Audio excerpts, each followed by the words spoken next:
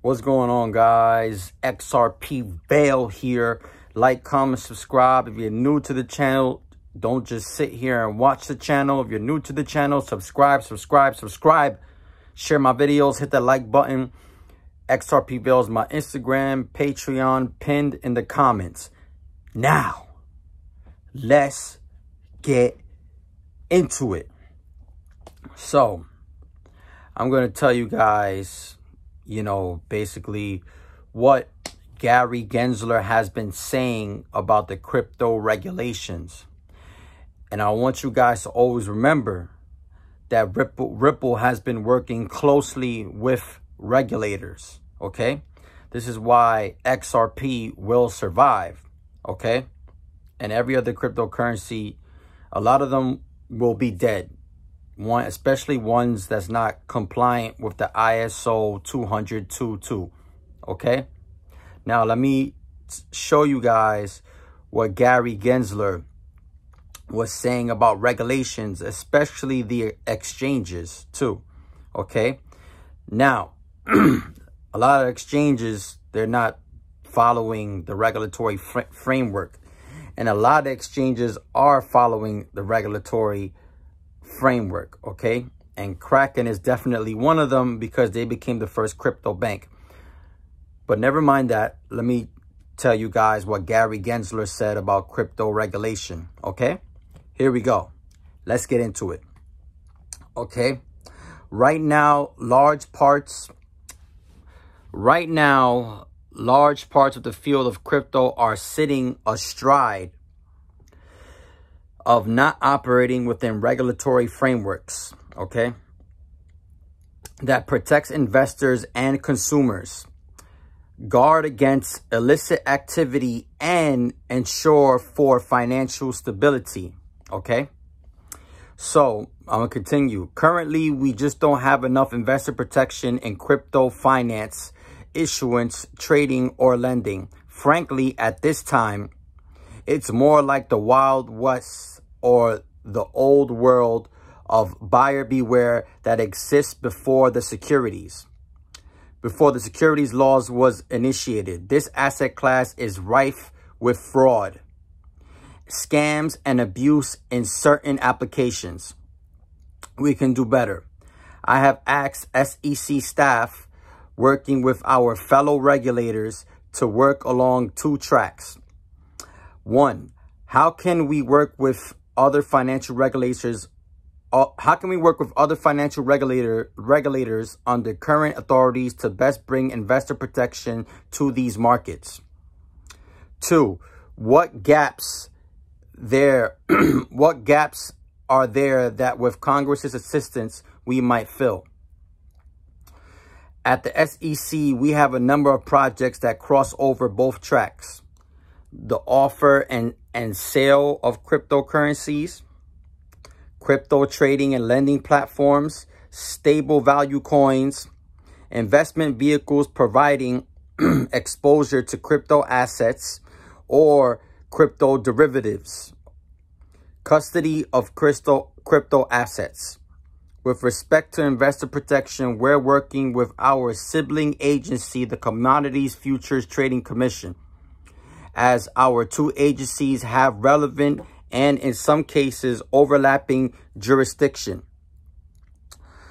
In the crypto markets with respect to broader set policy frameworks, we're working with not only the CFTC, Commodities Futures Trading Commission, but also the Federal, Federal Reserve, Department of Treasury, Office of the Comptroller of Currency, and other members of the President's Working Group on Financial Markets on these matters. Further, I have suggested that platforms and projects come in and talk to us. Many platforms have dozens of hundreds of tokens on them, while each token, each token's legal status depends on its own on its own facts and circumstances.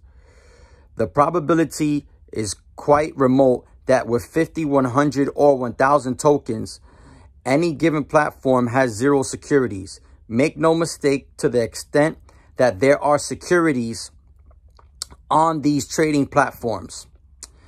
Under our laws, they have to register with the commission unless they qualify for an exemption. I am technology neutral. I think that this technology has been and can continue to be a catalyst for change, which it will. But technologies don't last long if they stay outside of the regulatory framework. I believe that the SEC, working with the Commodities Futures Trading Commission and others, can stand up more robust oversight and investor protection around the field of crypto finance. So, you guys, basically, what he's saying is a lot of the, this is from Gary Gensler and regulation. Okay. A lot of these exchanges that are out here, there's hundreds of them. There's so many of them that's not operating within the regulatory framework. Okay. And they said that they could be securities, especially if not operating a regulatory framework. And he's saying that he wants the exchanges to come in and talk to them, but a lot of exchanges aren't coming in and talking to the SEC because they're doing illegal stuff. Okay, they're running without uh, um, regulatory uh, clarity, the exchanges. They're just running. So notice how he said a lot of them have securities on it and the exchanges are not coming in to talk to them about how they can continue to operate okay you know a lot of them are operating without the, without their license okay so now we know that since XRP has the power to be a, deriv a derivatives security fully exchangeable to any currency, commodity, or asset, it will survive regulations. Okay? Whether it's a derivative security or currency, it will survive regulations. Okay? So basically, you know, all the exchanges, you know, they're going to come come after uh, stable coins and stuff like that. Basically, they're going to come out with, um, they're going to come after custody of crypto assets and things like that. Okay. So I highly suggest just get your exchanges, no, get your exchanges, get your XRP up the exchanges and put them on Ledger Nano X because all these exchanges are, are going to get regulated because most of them probably only 10% are operating within regulatory framework and they have their license, okay? And if they say um, XRP is a security, it will be a derivative security, and that's why it will survive the um the um uh the regulations. That's why it will survive the regulations because it has the power to be a derivative security, which means it has a use case of transferring the value of every currency, commodity, and asset in the world. Now, every single digital asset, every single digital asset's long-term value is based on its use case. And XRP has the best use case. Okay? XRP Vale here. Like, comment, subscribe, share my videos, share my videos, share my videos, keep my post notifications on. And that's what Gary Gensler was saying about, you know, regulations and regulating the space. If you're new to the channel, subscribe, hit that like button, smash that like button, share my videos, share my videos, share my videos. Keep my post notifications on. Patreon link pinned in the comments. XRP Vale's my Instagram. Peace out, you guys. Let's get into it. Yeah.